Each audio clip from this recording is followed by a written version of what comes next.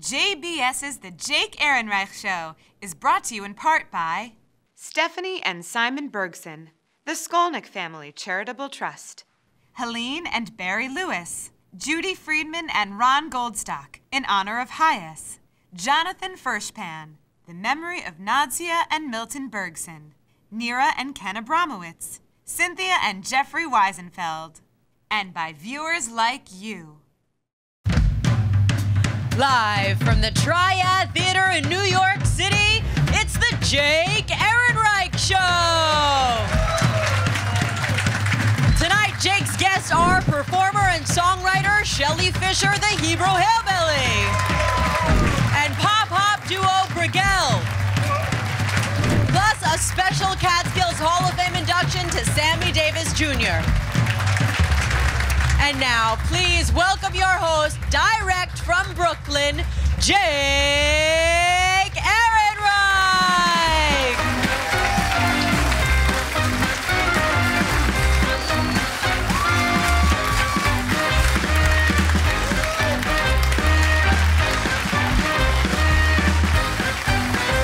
Wow, wow, welcome, welcome, my friends. Give yourselves a nice big round of applause. Wow. This is fabulous music, comedy, lots of Jews. It's great. My name is Jake Ehrenreich. I started my career in the Catskill Mountains as a young musician, and I was born and raised in Brooklyn, New York. So I love Brooklyn. It was very important to me. And the Catskills were extremely important to me and my family. We started going up there when I was just a kid. I mean, we do the Catskills Hall of Fame. It really, really means a lot to me. It was an important place to us. What you may not know is I was actually married in the Catskill Mountains. We started going up there. I was an infant with my folks. Now I would be married in the Catskill Mountains.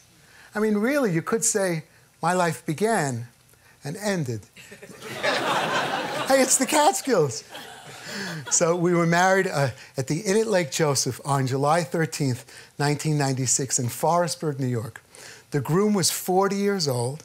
The bride was 39 years old. It was the first marriages for both of us. Already a miracle. I have no idea who this is. My beautiful bride, Lisa. Beautiful and wise, very wise. I remember overhearing a conversation on our wedding day between Lisa and a friend. And the friend asked her, Really, what does it feel like? Tell me, what does it feel like to finally be getting married for the first time at age 39?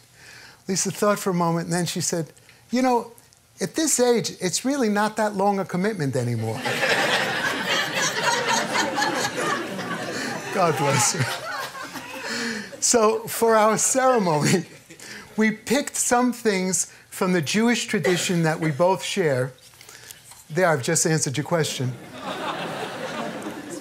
that really spoke to us personally. One is that I would wear my version of a kittel. You know what this is? This is a traditional white robe. It symbolizes purity on your wedding day. It's really a very, very beautiful tradition. I learned later that during the ceremony, the piano player, upon seeing Lisa in her white dress, me in my white robe, all the torches we had strewn about, he turned to the flute player and said, Looks like a KKK rally. I will say my wedding was a little eerie. We had invited all of my relatives who perished to come and join us in the ceremony. And you know, from the looks of this photograph and that sky, they just may have. As it turns out, our wedding day was the July hurricane of 1996. The way we like to look at it, they all showed up. And then the pièce de résistance, the traditional breaking of the glass. You know, in retrospect, maybe I just should have used a light bulb.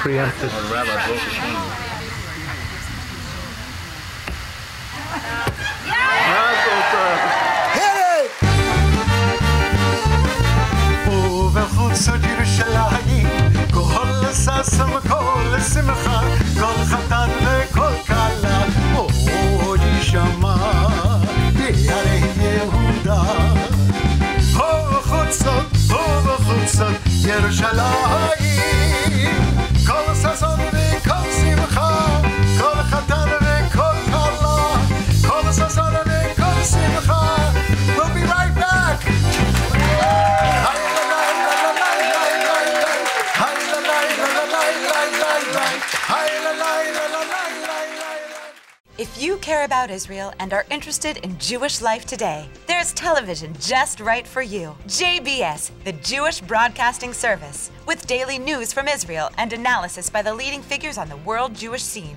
Evenings from the 92nd Street Y, a weekly Jewish film festival, Jewish culture, Jewish studies, and Jewish entertainment, and live Friday night services every week, as well as high holiday and festival services. JBS, television worth watching.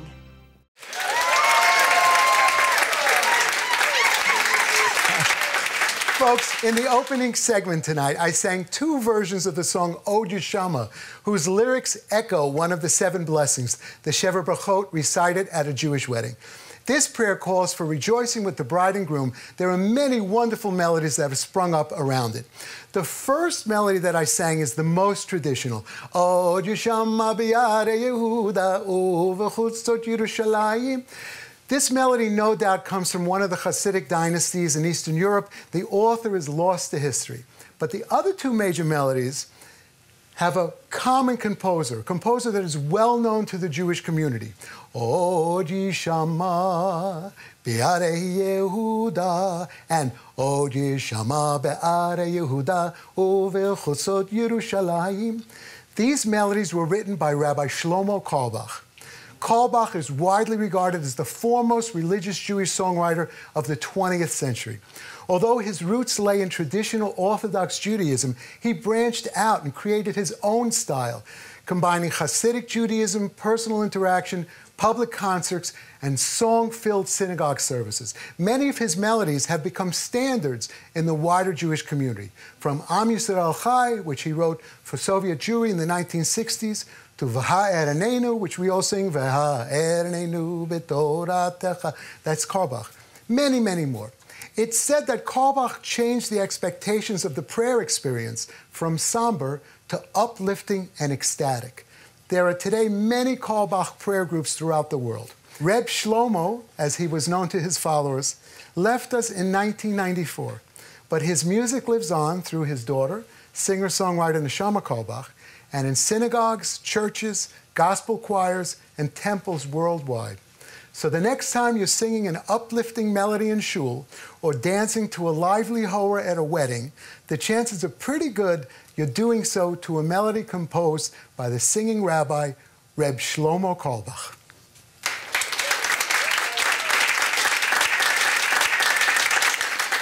And now, I'd like to introduce you to our wonderful announcer but tonight in a slightly different capacity. Ladies and gentlemen, New York City based artist couple BriGuel are on a mission to do nothing less than to make the world a better place through their art. They sing, rap, write, act, direct, edit, dance, produce music, film, and TV. Please help me welcome to the stage two very talented people our own very own Brianne Berkson, along with her very own Miguel Gluckstern. Please welcome BriGuel. Hello, New York. How are you? How is everyone doing tonight? Good evening. We uh, we love New York very much because we feel like it's all this difference and so many different kinds of people, but there's harmony, right?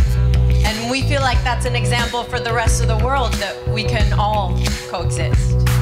I ask too many questions but barely pay attention. Never present to the messages that are given in this lesson. Life is a lesson. Move to the next one. Every stage is a lecture of my own selection. Why do we need trauma to understand how much we have? Why can't we learn from the past? Must be part of the lesson. Living in a prison, dealing with the pressure of the pressure. Blind to the evidence, no one has vision. Living in an illusion, we are losing our essence. The sense of being present. Since adolescence, they sell Sex and violence instead of love and happiness. To mess the message, nobody seems to listen. Prefer to follow a leader, relinquishing decisions to someone in another position. Then complain about it, it's dramatic. I keep searching for a way, find a way to feel, feel free. Flying on my own. I keep searching for a way, there's a way to feel free. Flying on my own. Because this life's a lesson. What do we learn? Eh, do we transform? Or do we become numb, lost in the storm? Do we follow the norm to overcome the pressure? Do we know right from wrong if you don't pay attention? Speak true, do your part. Uh, choose, choose love, love. know who you are.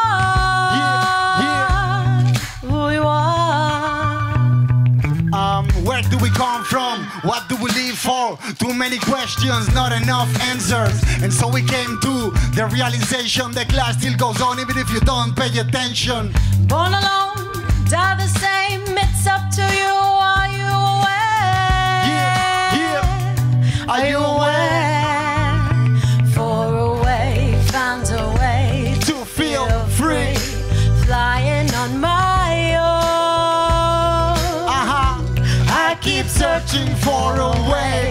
There's a way to feel free. Flying on my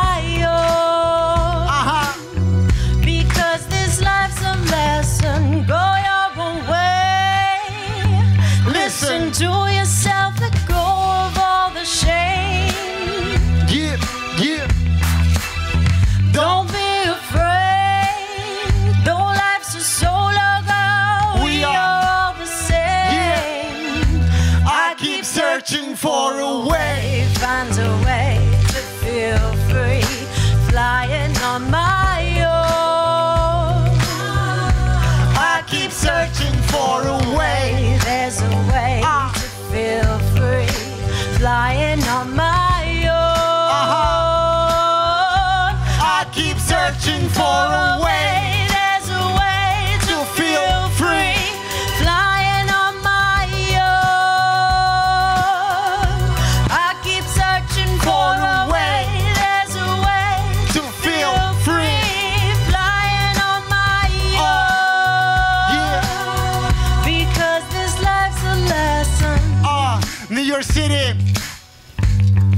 If it happens here, it can happen anywhere. I hope you understand my accent, but that's another part of the story. Anyways, thank you for being so great as an audience. And make some noise for my beautiful wife. And for my amazing husband. And for yourselves. And for Jake. Make some noise for Jake. Thank you so much. Big girl!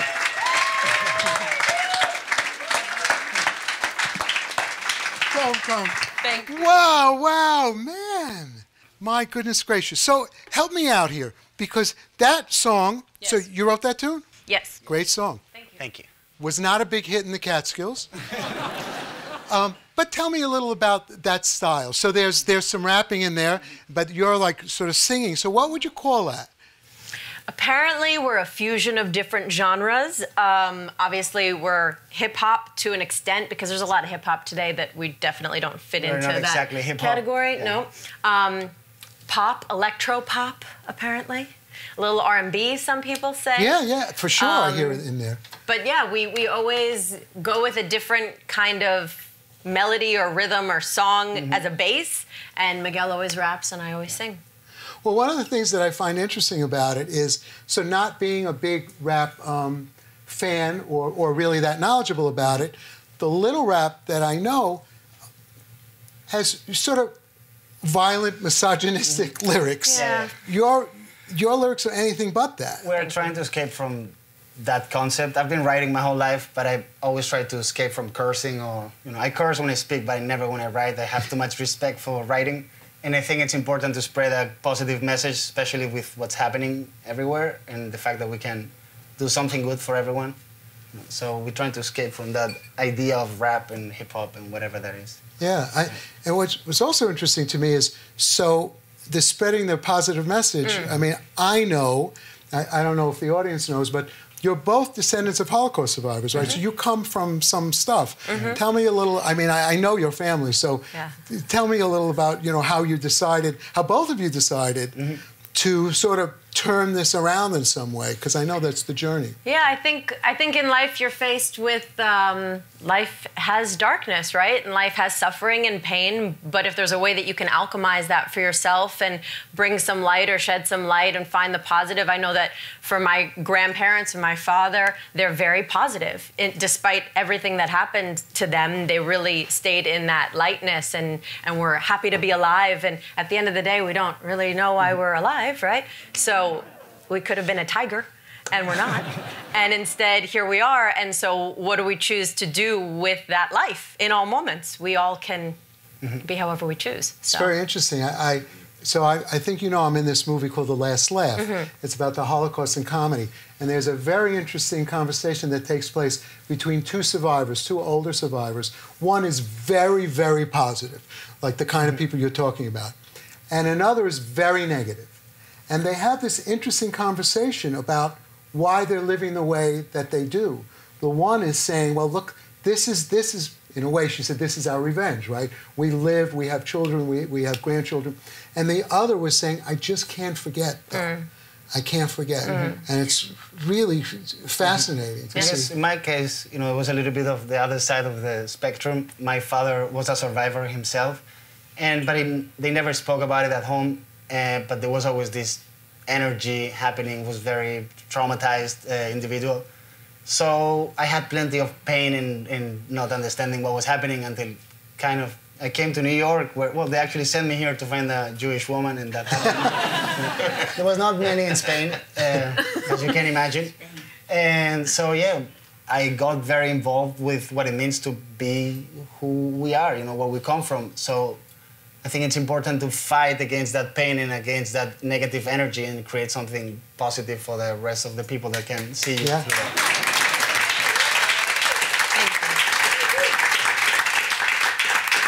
Now, I'm sure before you mentioned Spain, people were wondering, well, where is that accent from? I thought it was from the Bronx. but so you're from Spain? Is... I was born in Germany, raised in Spain. My family is from Israel, so yeah. Um, ah. I have a big ident uh, identity issues. You know, that's what I, that's what I have left. Yeah. But how did you meet? Where did you meet?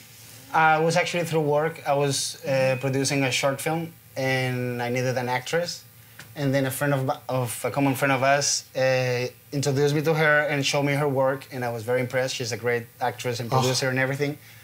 And I offered her the part, but she told me no because there was nudity in the in the scene, and she told me she doesn't do nudity. So I guess I fell in love in that moment. wow. And, and then, but she told me instead she will help me to rewrite it and to produce it, and we've been working ever since yeah. for three years now. Isn't that great? Mm-hmm. That's fabulous. So three years. Mm-hmm. What is it like working together and also now being married? The best. Yeah, we, we like to say we're doing the things that we love the most with our favorite person. So you know, independently, we'd be doing the same things, and we just so happen to love the same things. Yeah. And we have a really good synergy where I falter, Miguel is strong, and vice versa. Mm-hmm. So it's a really nice synergy in that sense, and we continue to inspire each other and help each other grow. And we've been very productive and creative, creative ever since we met. So mm-hmm. you know, it's just like it's becoming a drag, and every time it's more necessary. Well, to me, you know, I know Brianne right? And Brianne is, is our announcer. I mean, she's the greatest, and I love her, and I love her family. And I could see it. I can see that the combination, you know, it's like the parts are, the whole is more than the sum of its parts. Mm-hmm. It's really beautiful. So what's what's ahead for you guys? I mean, th- this music is great, by Thank the way. You. Really, did you like the music? Is that Thank you. Really interesting music, I you. love it. The lyrics, the rhythm, all of it. Thank so where, where are you going? What's what what do we expect from BriGuel? So we do work in the sense of being hired for other projects, but as far as our music, we're releasing our album single by single with an accompanied music video that we also conceive, direct, produce, edit, all you know, all of the above. Mm-hmm. Um, so we have another single coming out probably within the next six to eight weeks. We also have work that we need to fit in in between, but you know, we're doing that. Mm-hmm. We have. Uh, yeah, a lot of exciting things coming up. We we are BriGuel is our name in all of our social platforms and etc. So if you want, to, we are BriGuel, Brianne B R I G U E L Gel, and uh, we are BriGuel. That's who we are. I am so happy to have you on the program. You're not going anywhere because I'm you're here. part of this Yeah, program. yeah. We'd love to have you come again, Thank sing you. another song. Do you? Would you like to hear them at some point? Come back to the show. Please help me thank my wonderful guests, BriGuel, Brianne Berkson, and her beautiful husband, Miguel Gluckstern. Thank you. Oh, my Thank you. goodness. Thank you. Thank you.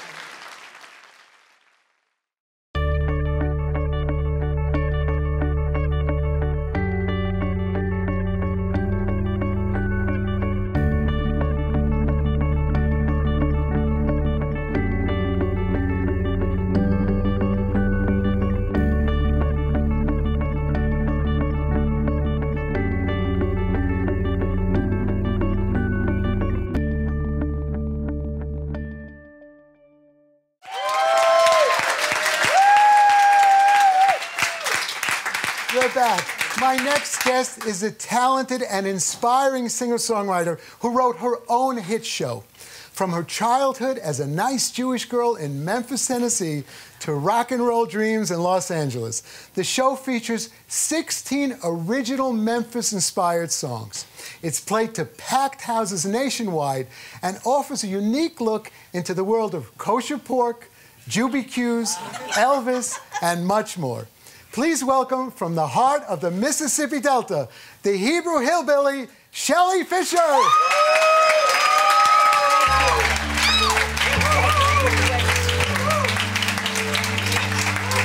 Thank you.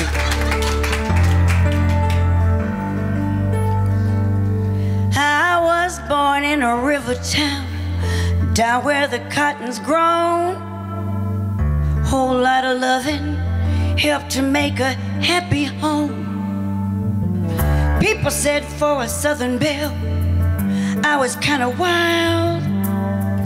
Never quite a grown up, never quite a child. Love City, baby.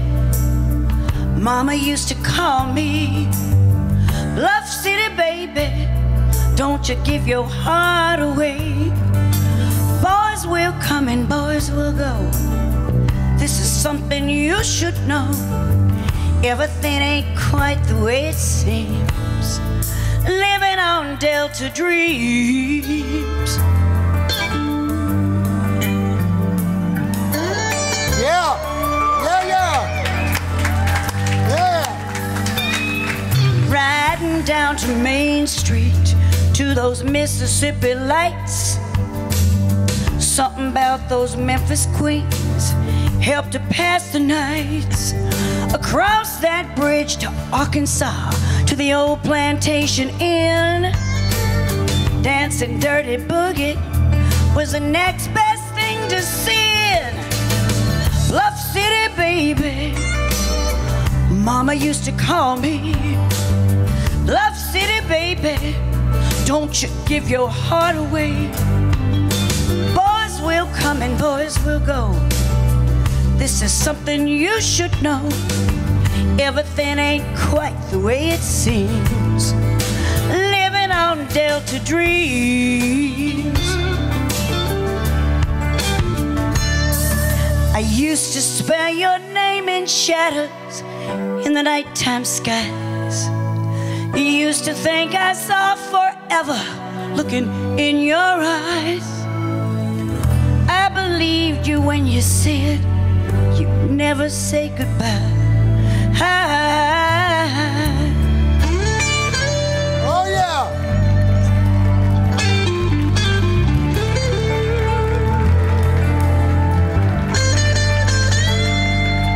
One, two, three, four.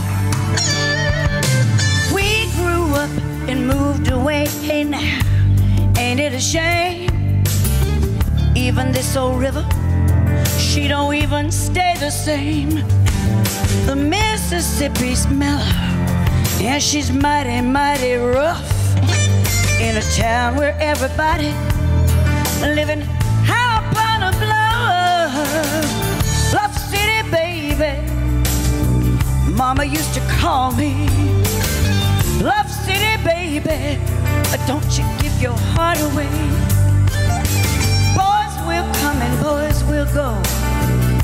This is something you should know. Everything ain't quite the way it seems. Living on Delta dreams, you know that's right. He made me mellow, he made me rough. He called me baby, he called my bluff,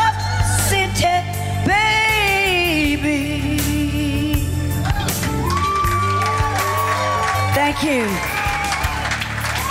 Thank you, New York. Sure feels good up in here. Thank y'all so much. Thank you, Jake. Shelley Fisher! Thank you, Jake. Let's sit down. Jake, Wow. Isn't he great? Jake, you make it real easy. Thank you, sweetheart. Wow, you're the real deal. Bonnie Raitt, move over. Thank you. This what a great singer you are, man. That's fabulous. I sure That's your song, that. right? It sure is. I wrote every single word. Can I give credit to the other co-writer? Absolutely. Kenny Hirsch is a very famous hit songwriter, and that's enough about him. So let's talk about. He ain't here right now, but you is. Man, I am so happy to have you on. I'll tell you why. Not only because you're talented and, and all that, but I'm used to being a Jew from Brooklyn. And I know Jews who grew up in places where there were a lot of Jews. I don't know any Jews from Memphis. Well, you know what? We got one. We got two. Raise your hands Ah. here tonight, and they are my actual family from Memphis, Tennessee, y'all. Can I introduce them? Can I introduce them? Sure. To my stage right, I have my hero, the one and only attorney at law, and to me, greatest guy on earth, Mr. Avron Brogg Esquire. Yeah. Married 59 years. Kana Harwood, he has a beautiful Kana wife, Harwood. Sheila, and not only is she beautiful, she can cook. Most important thing. And you know what my mama said to me? Her name was Frida. She said, Shelley, remember this. Kissing don't last. Cooking do. she can cook, she, and she always has new inventive recipes. But enough about her. Let's move on to my stage left. My cousin, Lance Zitron. And before you give him an entire hand, I want to tell you that he is one of the greatest Jewish Elvis impersonators in the world.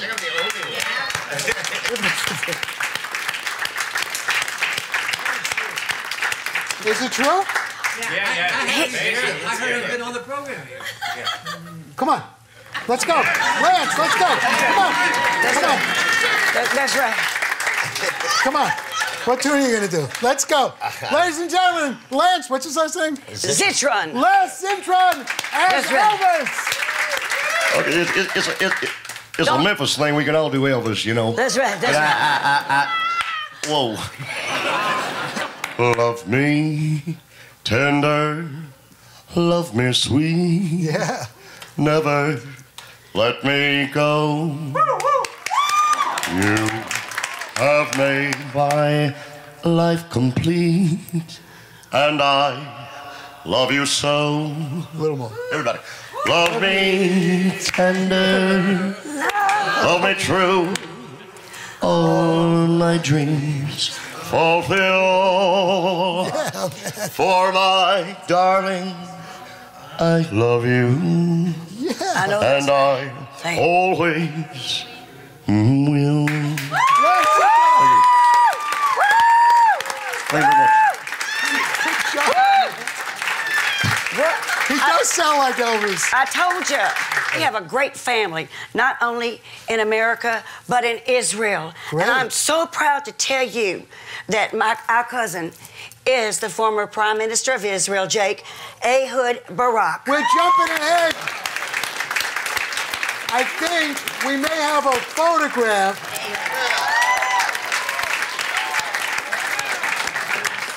So that's incredible. How did you end up in Memphis, though? Oh, that's a whole long story because everybody sort of got pushed around. You know, the Jews were not really welcome anywhere, uh, except maybe in jail.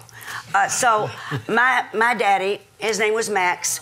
uh, somehow his portion of the family landed in almost Siberia, someplace called Kazan, Russia, and somehow they got to uh, Rovno, Russia, and they were able to escape, I think, during the pogroms, and uh, slept in foxholes. It's not a unique story to anybody but us, uh, but all our stories are similar but unique. I truly feel that the Jewish people are the most amazing, indomitable people on this planet.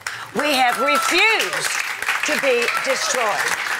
Well, that's where, where your Yiddish comes from, because as we've been talking, Shelley and I have been talking, preparing for this, and you know, she'll speak Yiddish, which is really funny to me. Only To hear- dirty words.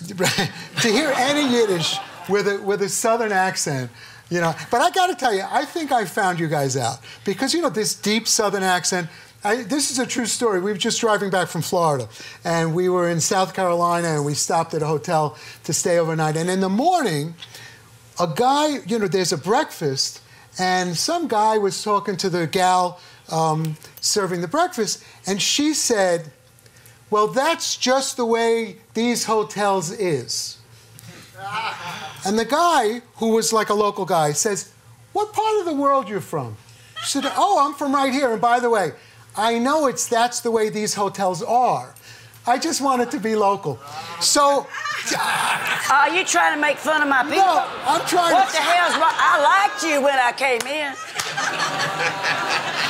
I love it, man. It's such a great accent, but to speak Yiddish with it is really hysterical. Jews want to assimilate. Isn't that true, people?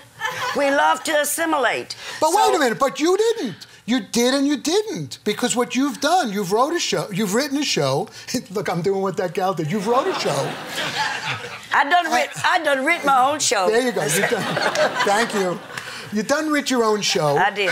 But it's not an assimilated show. It's like this is where I grew up, and this is my tradition, and here they are together, and this is who I am. That's right. There's nothing embarrassed about being Jewish or saying I don't want to be. It's all Southern Jewry. We have done something very similar. I wrote a show about my life called A Jew Grows in Brooklyn. That is unusual. Thank you. It's a great show. I've seen it twice. You wrote a show about your life called The Hebrew Bill- Hillbilly, Fifty Shades of Ivey. Oy vey. Ivey. I don't know how many people know your story, but it's so interesting Thank because you. you. you also wrote all of these great tunes. Thank the you. tunes are really indicative of where you grew up. But they have a Jewish flavor, right? You're going to do a, a tune a little later. There's a beautiful song. Thank you. That's Southern, but also Jewish. What was it like for you? I know for me, when I do my show, it's like having a visit with my father, my mother, my sister. I'm talking about them. It's like I'm with them. I know Billy Crystal said the same thing. He says, you know, it's like visiting my parents and my family every time I do the show. What's it like for you? It's amazing, and what's even more amazing to me is that I'm still mad at my mother. and of course, uh, well, I lost my dad uh, when he was only 45. He truly never got over this escape and this trauma. He became a very successful person in Memphis, and the thing he was most proud of was marrying my mother. And uh, basically, my mama was born and raised in Pittsburgh, Pennsylvania. And people said, Well, why are you going to go down south and get married to some southerner redneck? And she said, I heard I can have two yachts down there a front yacht and a back yacht. oh. but in our community, we were very, very fortunate. Uh, my father and a few other attorneys masterminded an Eastern European immigration to Memphis, Tennessee, of course, for free. And these people became part of one of the most amazing, close knit communities. Everybody was your aunt or uncle. We knew we were different. We weren't particularly well liked, and for sure, we were never, ever 100% accepted into the Gentile culture. But it was nobody really beat us up except I had an experience when I was um, nine years old in elementary school and a boy wanted to cheat off my paper. I didn't know that. I thought he was kind of cute. I thought he liked me and he kept saying, uh, move your paper, move your pencil. I, I can't see your answers. And I'm like, what? And I studied. And he says, I said, move your paper over so I can see it. And I didn't. And he said, dirty Jew. So and I was never exactly famous for being a tomboy, but this is a true story. Yeah. Uh, I ran after him at recess, and I punched him in the belly hard as I could. And then I took the opportunity to sit on his neck. Somewhere in Memphis, there's a blue redneck. the songs that you wrote, they're poignant and funny too. Thank but you. one of them, when I heard it, I said, "Oh, that's what a Hebrew hillbilly is," and it, it sort of lets us know. Sing a little of the, the Hebrew hillbilly thing. Just just give us a. This really explains who Shelley is. Well, I can, can I lead you into it a little bit, set it up? Sure, please. Okay, what happened was uh, every Jew in Memphis, Tennessee wanted a Christmas tree. You know that's right. But it, it was not allowed. And I loved Hanukkah. I mean, I still have tchotchkes that are unopened. See, tchotchkes. Uh, I don't think someone from years, Memphis says and years tchotchkes. ago. So I said, my mama, why can't we have a Christmas tree? And she says, if God wanted us to have a Christmas tree, he'd put one in our living room.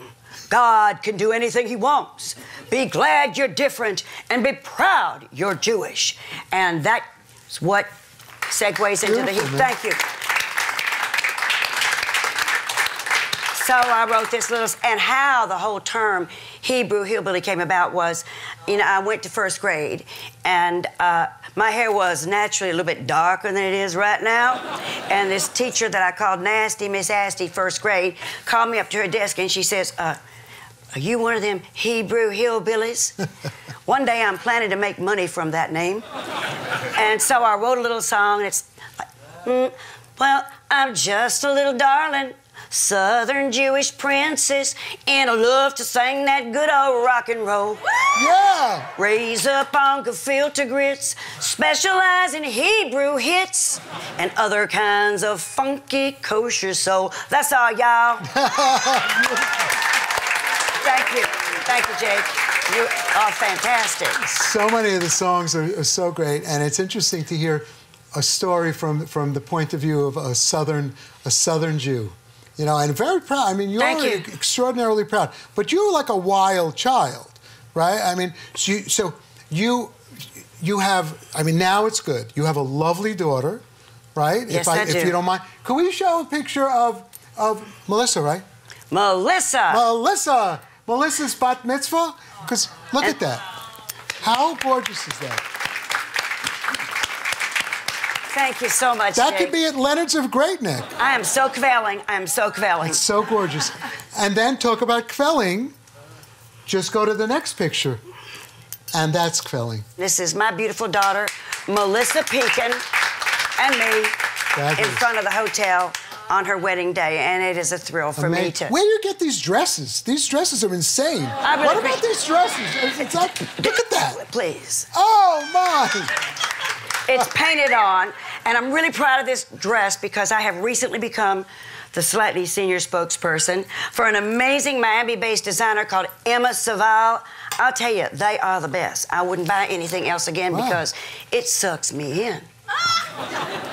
In all is- the right places. I could use a dress like this. She he, she can make she can make men's shirts. Yeah? Yeah. I could use a little sucking in. Hey, I can I can hook you up. You look you look marvelous, darling. Would you do something for me? Sure. I know you've never done this because you told me I've never done this. Lots of women have told me I've never done this, but this is something different. But I really haven't. Could we sing one of your songs together? I, I love you. What you got in mind? Um, I could steal a, a line from Julie Budd. You want to do the one we rehearsed? No, just do what you like. He's so. Sp- this guy is so spontaneous. You are such a capable comedian, host. I really appreciate that because a lot of people just have no idea how to interview or how to ask questions, and Jake do. Isn't that kind? It's true, but it's true. That's very kind. I'm not that kind, but I'm truthful. I'm not that nice. Take this microphone. We want to do this great song. By the way, this is Shelley's new CD. Shelley Kingfisher, Rockin' in Memphis. And we want to do the title song from this CD. Shelley's kind enough to let me sing it with her. So let's do it. Yamon, let's do Rockin' in Memphis. Here we go. Here we are, Here we risking are. our reputation for your Come on, let's go. entertainment. Thank you. Oh, yeah, yeah, yeah, yeah. Oh, yeah. That's what I'm talking about. Memphis. Rocking in Memphis. Memphis. New York City never sleeps. But I need to hear that rebel beat. Everybody moving too fast. Gotta slow down make it last. Muddy Mississippi calls my name. In my heart, I'm just a southern dame. Only place for me, Memphis, Tennessee. Get it now.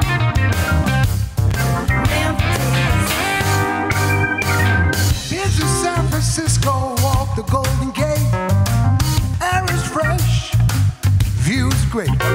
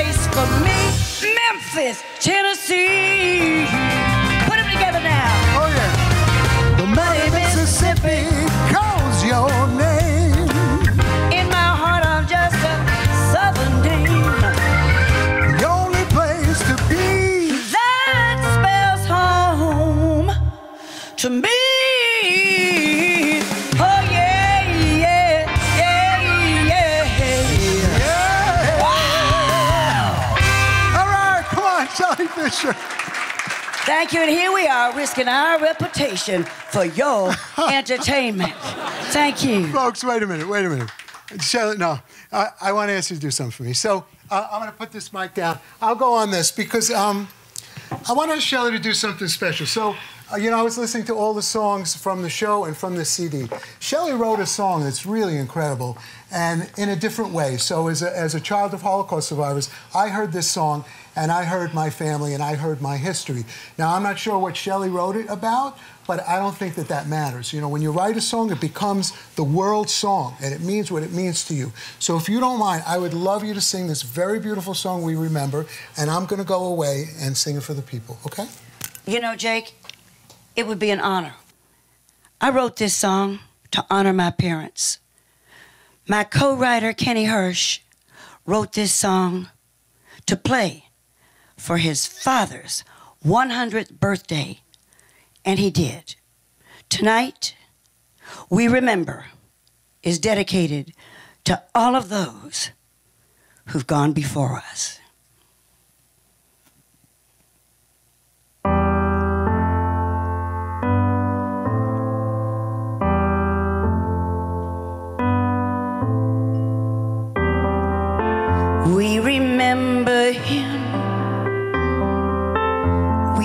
Remember her.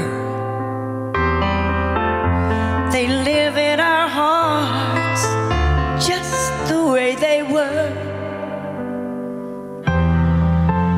We can see them smile. We can hear them laugh.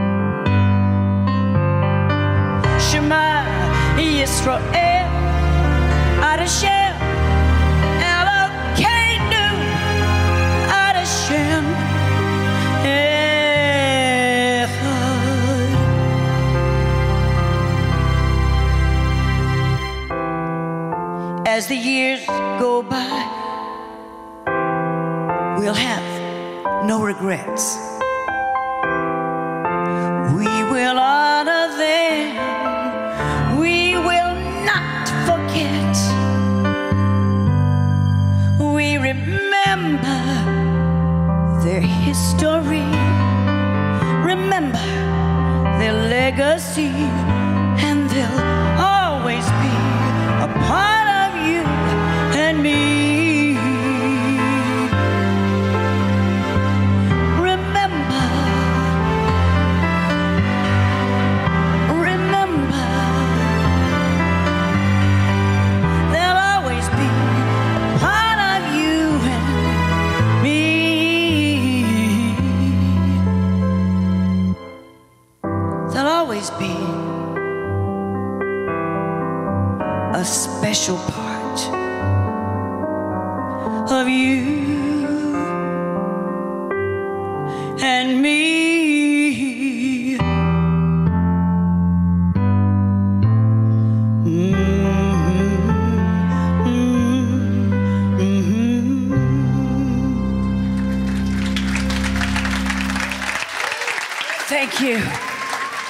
Thank you so much.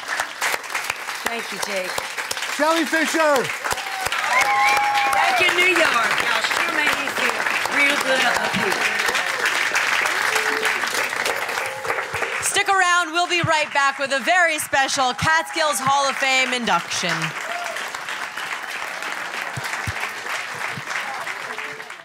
Want to know what programs will be on JBS in the coming week? Then sign up for the JBS Sunday email, which highlights future JBS programming and gives you the JBS weekly schedule, which you can print out and refer to throughout the week. And it's so simple to do. Just visit our new JBS website at jbstv.org and click on Newsletter Sign Up and fill in your name and email address.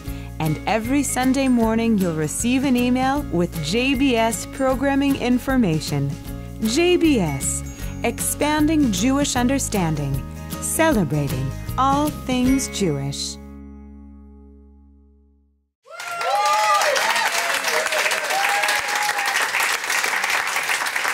The Catskill Mountains in its heyday was truly a magical place. Just 100 miles from New York City is where Jewish comedy became American comedy.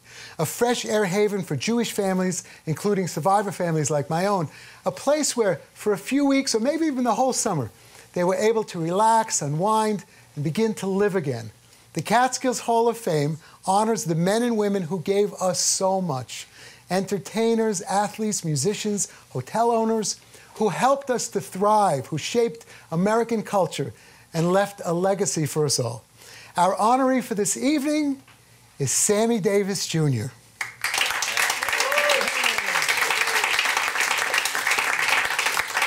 Samuel George Davis Jr. was a singer, musician, dancer, actor, vaudevillian, impressionist, and comedian. He was born in Harlem in 1925. His dad was an African American entertainer, his mom, an Afro Cuban tap dancer. He was the recipient of the Kennedy Center Honors, a Grammy Lifetime Achievement Award, and was nominated for a Golden Globe and an Emmy. He was the epitome of the all around entertainer. And in 2017, he was inducted into the Rhythm and Blues Hall of Fame as the world's greatest entertainer. Davis began his career at age three in vaudeville with his father, Sammy Davis Sr., and the Will Mastin Trio. They toured nationally, including in the Catskill Mountains. He later went on to become a member of the famous Rat Pack with Frank Sinatra and company. In 1954, he lost his left eye in a car accident. He had earlier started a friendship with comedian Eddie Cantor, who had given him a mezuzah. Instead of putting it on his door, Davis wore it around his neck for good luck. the only night he forgot to wear it was the night of the accident. Davis ended up studying the Jewish people. He was deeply impressed by their perseverance. Several years later, he converted to Judaism, finding the commonalities between the oppression experienced by African American and Jewish communities. In his autobiography, he recounts being on a golf course with Jack Benny when he was asked what his handicap was. He said, Handicap? Talk about handicap. I'm a one eyed Negro Jew. it's a famous story he loved to tell. Davis continued to perform in the Catskills, but now as a solo entertainer. He headlined at many hotels, including Brown's, the Raleigh, and the Concord, where he famously shared a bill with Ray Charles. What a show that must have been. The Catskills were a welcoming haven for black performers at a time when racial segregation was still rampant. When Davis headlined in Las Vegas, he had to lodge in a rooming house on the west side of the city. No dressing rooms were provided for black performers. They could not eat in the restaurant or drink at the bar, and they had to wait outside by the swimming pool between acts. This was in sharp contrast to the open welcome given to black performers and celebrities in the Catskills. Rachel Robinson, in her book about her famous husband, Jackie Robinson, spends an entire chapter describing how the Grossinger family made them feel so welcome while Jackie was experiencing enormous racial difficulty in Major League Baseball. This was true for many black performers like Nipsey Russell and Lionel Hampton, Hines Hines and Dad, so many more. But Sammy Davis was a special, huge presence in the Catskills. People were proud of him. You know, so much so that jokes grew up around him. Did you hear Sammy Davis? He became a Jew. It's true, he became a Jew. I'm not kidding. They sent him to Israel to become an honorary citizen. Sure, they introduced him to Moshe Dayan. It was a disaster because they didn't see eye to eye. Those are the Catskills. To me, Sammy Davis Jr. was the ultimate Catskill tummler, the old style of Catskills entertainer who seemed to be able to do just everything. Sammy Davis Jr. passed away at his home in Beverly Hills in 1990. He was 64 years old. Two days later, all the neon lights on the Las Vegas Strip were darkened for 10 minutes as a tribute. Ladies and gentlemen, I give you the great Sammy Davis Jr. All right, Cap, let's make one, two, one, two, three, four.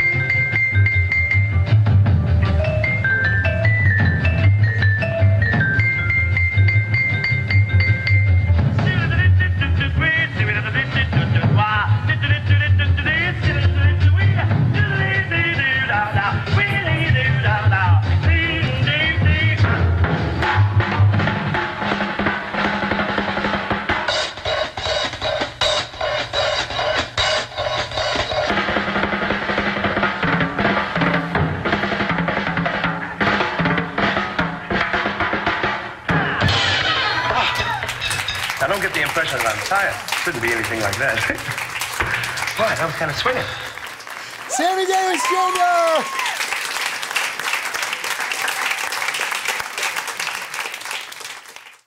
Hi, folks.